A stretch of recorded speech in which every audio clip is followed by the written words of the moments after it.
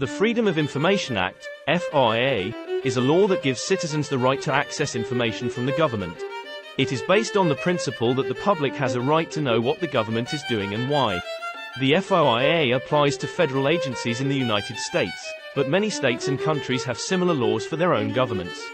To request information under the FOIA, one has to submit a written request to the agency that holds the information. The agency has to respond within a certain time limit and either provide the information or explain why it is exempt from disclosure. Some common exemptions are for national security, personal privacy, law enforcement, and trade secrets. The FOIA also requires agencies to publish certain information proactively, such as their rules, policies, reports, and decisions. The Information Commissioner is an independent authority that oversees the FOIA and handles complaints and appeals.